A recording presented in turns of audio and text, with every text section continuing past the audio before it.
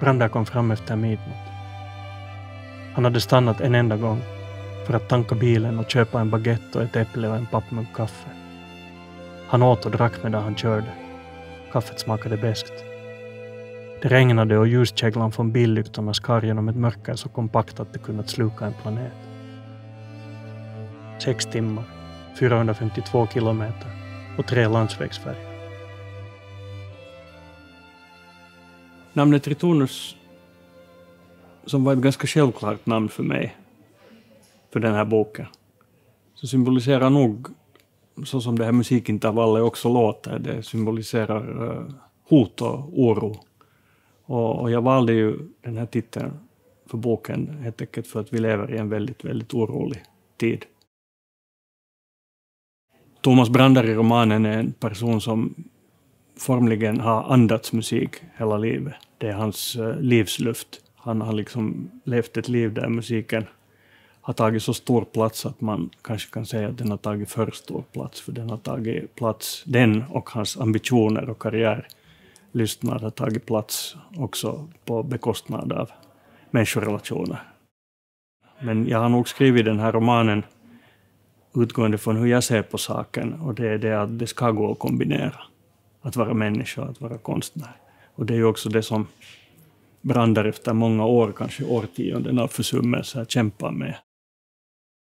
Hans hjärta har blivit ganska stängt med åren och han har försummat mycket och nu är frågan att kan, kan han öppna sitt hjärta för människorna och världen igen.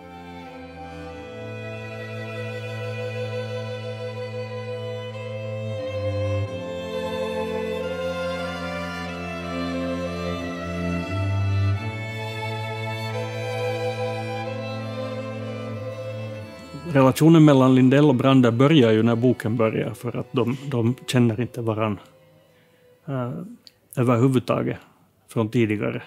Och jag skulle karaktärisera det som en, en spirande vänskap men med friktion. Det här är då en vänskap, en gryende vänskap mellan två män som är alltså 50 plus när de träffas. Det är en av grundpelarna, som liksom en av de viktiga byggstenarna i, i den här berättelsen. Jag tyckte det var ganska roligt att skriva fram deras vänskap, för de är ju väldigt irriterade på varandra.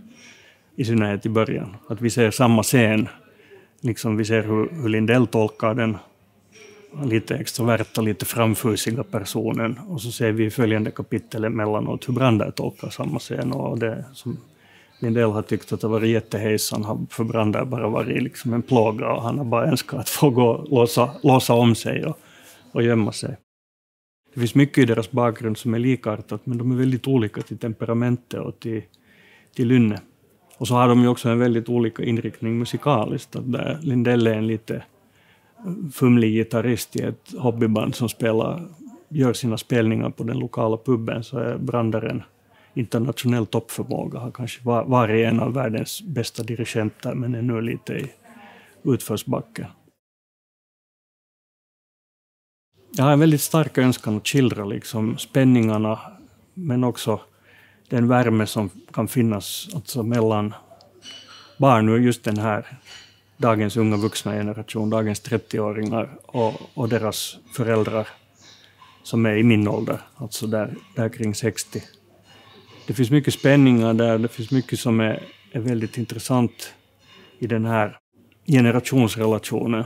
Så den här relationen mellan Maja och hennes pappa Lindell och relationen mellan Vinnie och hans pappa eh, Brander är jätteviktiga stråk i boken för mig. Och, och, utan att nu leverera spoilers så är det väl så att, att där mot slutet av berättelsen så blir det de här 30-åriga barnen som får påpeka saker för sina pappor så att pappornas ögon öppnas för, för deras egna hang-ups och livslögner de har haft, för, för de har, har inte särskilt lätt att få syn på dem.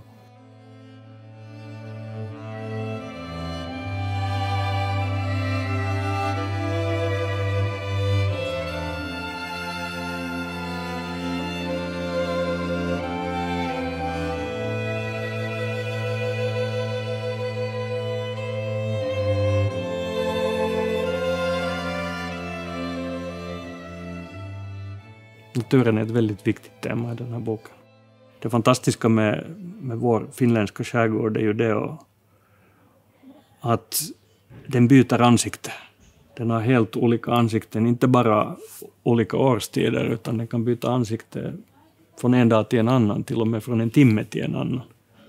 Så naturen finns med i, i Tritonus både som läkande kraft, eh, som någonting som vi människor verkligen behöver, men också som potentiellt hot för att vi behandlar naturen så illa.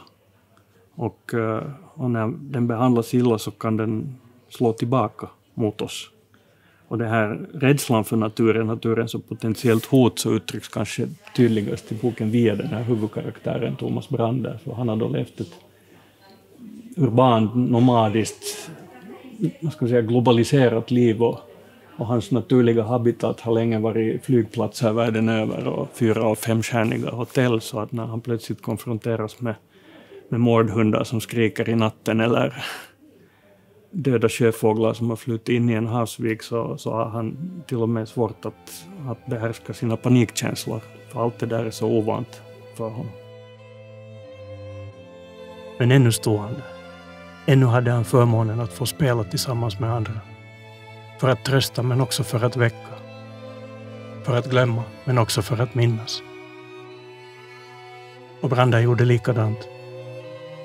Han nickade lätt till Gens och till Kuorti och när han gjorde det så visste han att under de följande 400 sekunderna, lite mindre eller lite mer, men absolut inte längre än så, skulle världen vara inte bara enkel och vacker, utan också hel och begriplig. Och så lade han fingrarna till rätta och tog ett djupt andetag och spände kindmusklerna och läpparna. Och i samklang med Quartis piano och Gents violin blåste han tonen A.